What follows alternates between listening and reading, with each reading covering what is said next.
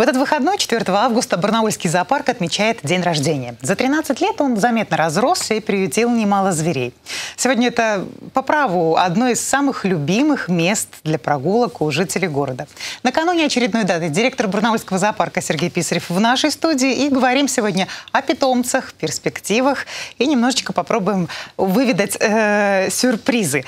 Здравствуйте, Сергей Викторович. Добрый день. Ну вот вспоминая 2006 год, с чего все началось? Это уже был зоопарк или все-таки немножко дру- другое? Нет, я немножко территория? поправлю. Э, Действительно, если говорить о зоопарке с выполнением всех функций, которые возложены на зоопарке законодательством, э, это и образовательная функция, это и познавательная функция, и главное, это функция восполнения видового многообразия животного мира на планете, то мы официально зарегистрированы в августе 2010 года. Поэтому мы отмечаем сегодня 9 лет будет нашему Вы пришли на пустырь в шестом году? мы пришли Что не на было? пустырь. Там был парк, там был э, лесонасаждение, я их так называю. Вот, там было, были горы мусора и был небольшой зооуголок.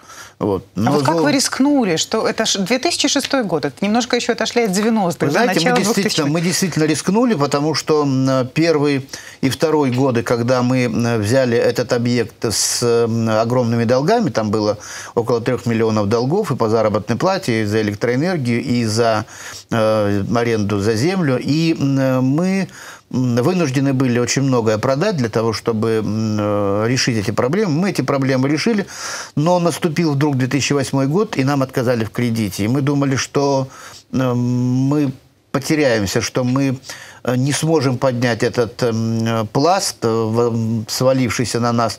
А, Но вы знаете, иногда трудности, они э, дают человеку определенный толчок. И этот толчок мы получили, прям вот пинок э, по одному месту. Вот. И захотелось больше творчества, и захотелось привлекать людей, и захотелось покупать животных для того, чтобы создать настоящий зоопарк. И мы поначалу думали, что мы создадим алтайский зоопарк с алтайскими животными, то есть это было проще собрать там леса, волк, олени, моралы. А, Но жизнь стала вносить свои коррективы, у нас стали появляться другие животные. Сегодня любимыми животными нашего зоопарка уже являются не обитатели Алтайского края, а тигры, э, пумы. Это ваши любимчики? каркашати. Я хотела вас спросить. Да, Вы это, ко всем относитесь как к деткам? к я ко всем отношусь. И Я- я, радуюсь, я радуюсь за появление каждого малыша. В этом году у нас появилось уже 63 э, питомца. Это м, ну, рекорд. показатель, им Это хорошо. рекорд нашего зоопарка, во-первых. Это рекорд э, даже э, Союз зоопарков и аквариумов России на своем сайте выставил эту информацию, потому что из 59 зоопарков э, вот такой э, плодовитый год оказался только в нашем зоопарке. И это очень здорово, потому что это характеризует сам зоопарк, это характеризует нашу работу в зоопарке, и это характеризует качество содержания животных в зоопарке прежде всего. Я вот вам пример один приведу. Вчера у нас был э, фотохудожник из Иркутска. А, он э, вернулся из Японии и там посетил, а он занимается съемкой э, животных именно в природе, в зоопарках. И он вернулся из э, Японии, где в Фудзи-парке снимал диких тоже кошек. Вот. И он показал мне фотографии, честно говоря, мне стало жалко. И он говорит, вы знаете, говорит, я говорит, уехал говорит, просто удрученный. Хотя японцы со своим отношением к природе, к животному миру, казалось бы, не должны такое показывать. Но, к сожалению, ситуация вот такая. И поэтому он говорит, я говорит, посмотрел все сайты всех зоопарков, и ваши животные выглядят гораздо качественнее. Вот что касается жалко. Многие говорят, я не хожу в зоопарк, мне жалко смотреть на зверей в клетках. Нужно ли жалеть зверей в клетках? Или все-таки звери, которые родились и растут, и умирают в клетке, они по-другому у них устроена? Психология, Вы знаете, если можно вы так знаете, говорить. в здесь вопрос случае. ведь в чем? Я уже многим и на сайтах объяснял, и в Инстаграм, когда мне задают такие вопросы, иногда обвиняют меня в том, что я э, содержу животных. Э, Я ведь говорю очень просто. Давайте не будем уничтожать живую природу, а ежегодно, вот для того, чтобы цифра такова, она э, катастрофическая, ежегодно с планеты исчезает 20 видов животных. Это деятельность человека. Это уничтожение лесов, Видов. 20 видов животных, понимаете? И я в прошлом году проводил такое мероприятие, то есть я э, сделал большие фотографии и разместил их на, по территории зоопарка и э, написал о том, что вы больше никогда не увидите это животное, потому что из-за человека эти животные исчезли с лица. Это стеллерова корова, это многие виды птиц, это многие виды морских животных, которые были уничтожены человеком. И больше их никогда. Ведь многие виды тигров сегодня исчезли, просто исчезли с, лица земли. Это э, медицина нетрадиционная, которая использовала, э, это шкуры э, дорогостоящие. Все это вина человека. Ну вот как и, это связано-то с клеткой? И поэтому, и поэтому люди, спасая животных от человека, они вынуждены были создать зоопарки для того, чтобы сохранить видовое разнообразие. Ведь смотрите, вот сегодня, допустим, леопард, дальневосточный леопард, всего в природе осталось 60 особей. Но в зоопарках мира находится 180 особей. И, естественно, существует программа по размножению леопарда, и мы таким образом, участвуя в этой программе, у нас тоже есть самочка и есть самец, мы участвуем в этой программе по размножению. И когда у нас появится потомство, это же наш вклад в сохранение этих животных на, на Земле. А другого пути просто-напросто нет. И если мы хотим, если мы понимаем, и если мы грамотные люди, и мы хотим сохранить животный мир и природу, то мы, естественно, должны принимать участие в этой работе. И мы принимаем участие в этой работе. Со следующего года все зоопарки страны будут проходить лицензирование.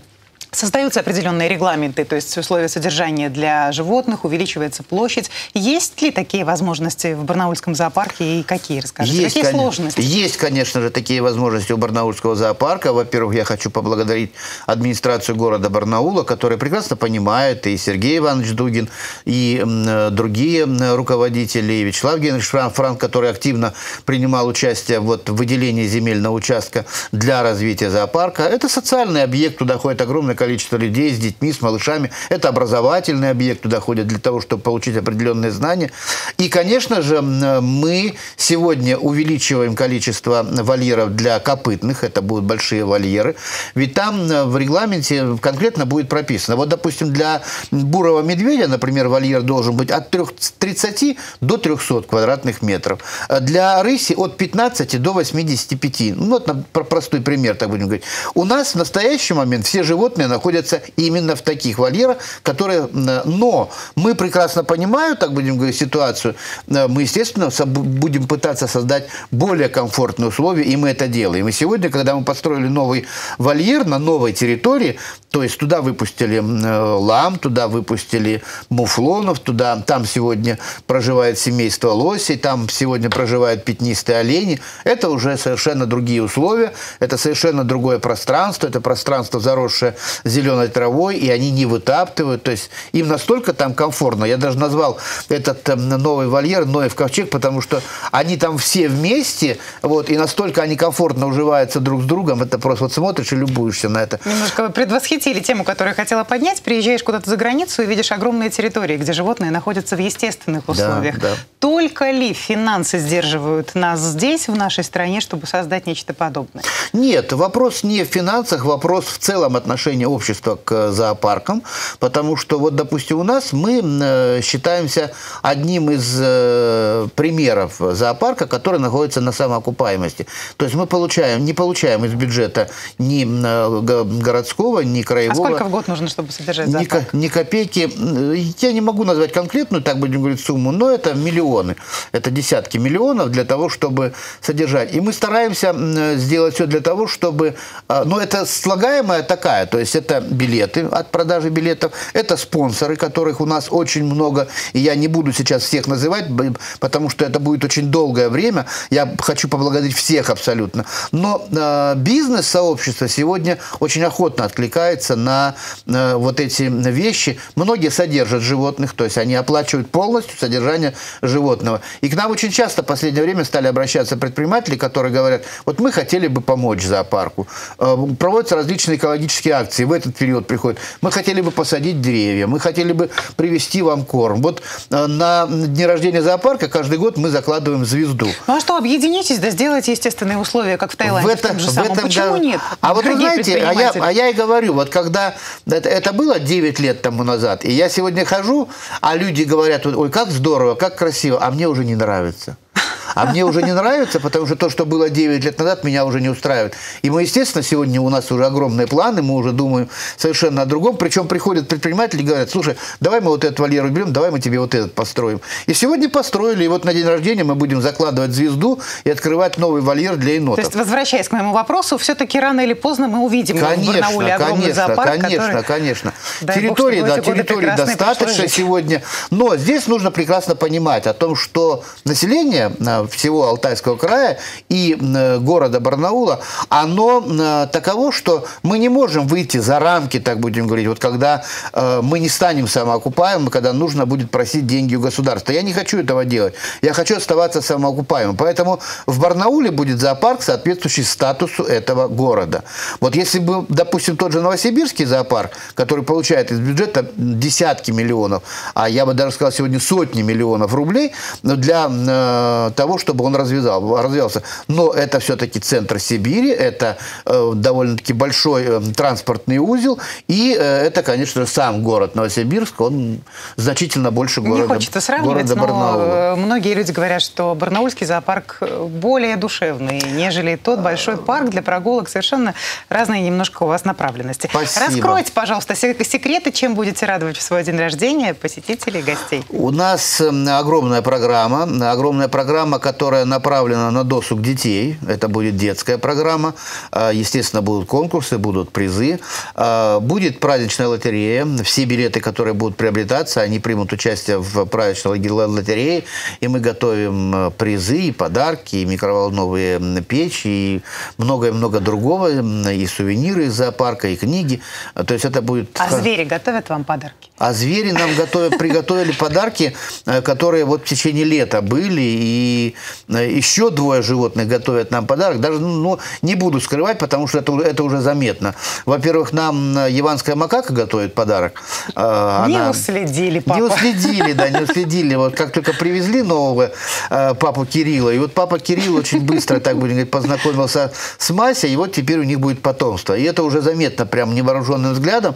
Вот, поэтому все обращают обращают внимание, говорят, а что у вас скоро мака, у макаки будет потомство? Будет потомство, да, и мы ждем, мы, мы заботимся о ней. Э, и наша лама Груня, вот, которая тоже очень... Вот здесь нужно было прям э, наблюдать, как э, лосиха ходила беременная, вот, и лама, которая тоже беременная, и она ходила рядом с лосихой и наблюдала за ней, как все это дело происходит, и когда происходили роды, она сидела рядышком, сидела рядышком, и она и сочувствовала. И вы не поверите, вот насколько все-таки у животных вот этот инстинкт материнский, он просто потрясающий. И когда лосиха, она не отпугивала, не гоняла ламу, потому что понимала, что это тоже будущая мама. И они вместе облизывали лосенка. Это нужно было видеть. Это действительно картины, которые нужно показывать детям, которые нужно показывать многим взрослым для того, чтобы они изменили свое отношение к материнству Какой вы и к богатый детству. дед. Я очень богатый дед, я очень я желаю богатый вам дед. долгих лет, желаю вам еще больше вот таких вот милых, пушистых и спасибо всяких разных огромное, внуков. Спасибо. Благодарю вас за добро, которым вы делитесь со своими посетителями и немного с нами в нашей студии. Спасибо огромное. С наступающим днем рождения. Мы сегодня говорили с Сергеем Писаревым, директором Барнаульского зоопарка, который в эти выходные отмечает день рождения. Зоопарк. Приходите. До встречи.